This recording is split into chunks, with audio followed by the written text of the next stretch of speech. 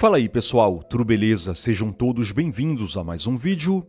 E no vídeo de hoje eu vou ensinar você como assinar o Max, o novo aplicativo de filmes e séries da HBO. Mas antes do primeiro passo desse tutorial, não esqueça de se inscrever e ativar as notificações do canal. Então vamos para o passo a passo desse tutorial. Eu estou utilizando aqui um telefone Android, você que está no iPhone também pode acompanhar o passo a passo desse vídeo.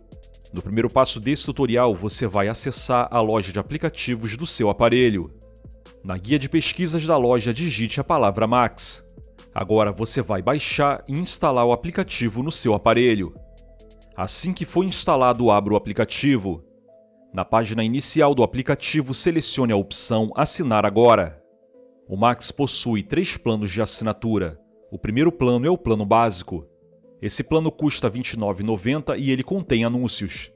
Você consegue utilizá-lo em dois aplicativos e a resolução do vídeo é Full HD. O plano Standard custa R$ 39,90 por mês. Ele possui todos os benefícios do plano básico, sendo que aqui é possível você baixar filmes e séries para assistir offline. E o plano mais caro é o plano Platinum que custa R$ 55,90 por mês. Nesse plano é possível utilizar quatro dispositivos ao mesmo tempo. A resolução do plano é Full HD e 4K. Ele também permite baixar filmes e séries para assistir offline. Caso você queira assinar o plano anual, você economiza até 36%. Na tela vocês podem ver o valor das assinaturas anuais. Nesse tutorial eu vou assinar o plano básico.